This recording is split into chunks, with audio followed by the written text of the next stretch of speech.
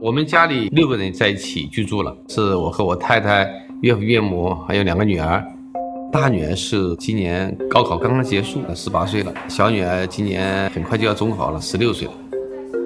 零七年的时候，小女儿出生了，家庭成员增加以后呢，原来的房子太小，然后看中了现在这一套房子，总面积大概接近五百平，加地下室的话应该是五层。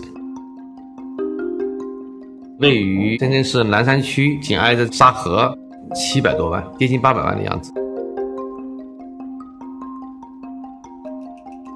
住了十来年以后，进行了一个比较大的改造，整体费用差不多七百来万吧。非常大、很新颖的这么一个设计，把整个的房屋用特制的这种纱窗啊包裹起来。现在所有的阳台都可以使用起来了，再也不用担心这个蚊虫的问题。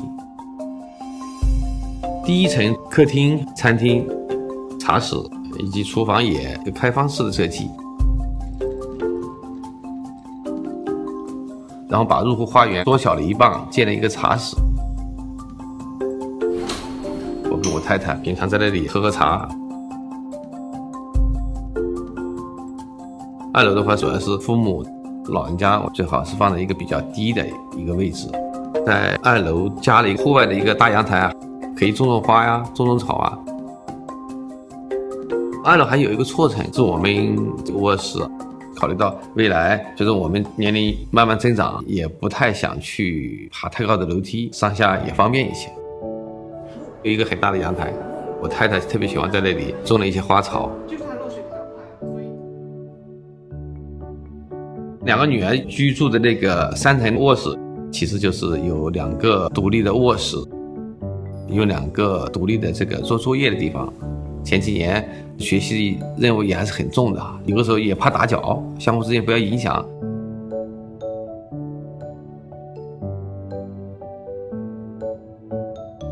四楼一个大的一个阅读的空间呢，其实他们使用的时间主要是在秋冬天，因为上面的阳光特别好。地下室，我喜欢在家里也看看电影啊，听听音乐啊。另外，小朋友呢也喜欢唱唱卡拉 OK，带同学啊朋友来玩。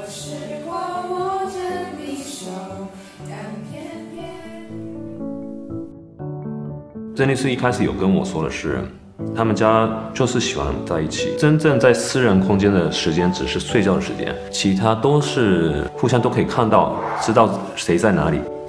是这个状态，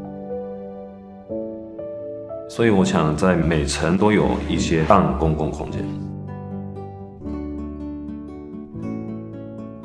楼梯做了一个凳子的一种功能在那里，可以随时坐在那里聊天啊。